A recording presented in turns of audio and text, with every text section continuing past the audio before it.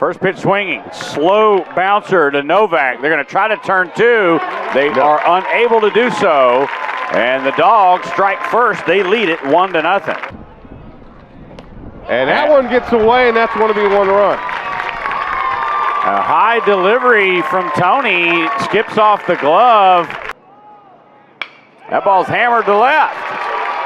And it's hit so hard. Well, Garcia Ramo's going to wave him. Ball's cut off. Throw home is hopped in there as they had him dead to rights. If Duplantier or check it. The 1 1 from Chavez. Breaking ball. Liner up the middle and through. Around third is Aquaro. He will score. And this ball game is tied up. To the right side. It looked identical to that. He's got himself an RBI as Eaton scores, and so does Duplantier, a two-run single, and the Dogs have the lead back. And the first pitch pops it up shallow right. That's trouble. Down again, and it drops for a base hit. Two-run score on the double by Aquaro, and we're tied 4-4. Put it. And a base hit is going to give the Crusaders the lead. As Solo with a base hit to right. At Four o'clock, game two starts. Popped it up into the gap right center. Trouble, and it drops. Richardson will head to third.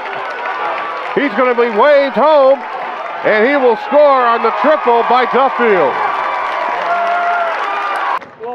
And that one gets all the way to the backstop, and that's going to make it a 7 4 lead, and a base hit up the middle. Two more runs are going to score. Ball gets away from Arcade, but no advancement, and it's 12 to 4. Little flare that's going to drop in the center field. One run will score, and the bases stay loaded on Troy's little bloop single. Fly ball, right field, should be deep enough to get a run home. Catch is made. Here comes the throw. And it is not in time, and a run scores to make it 12 to 6. The right of Duplantier, the short way for one. They do not get the double play. Ground out RBI. In comes Novak. Extra bases down the third base line. RBI double makes it 14 to 9.